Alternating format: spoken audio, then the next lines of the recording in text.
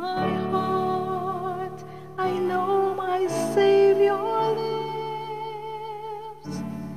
I can hear Him calling tenderly my name. Over sin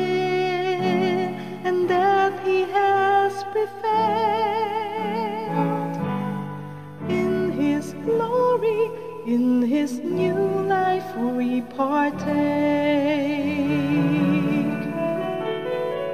I know He lives as He has promised. For me is risen that from fear I may be free. Not even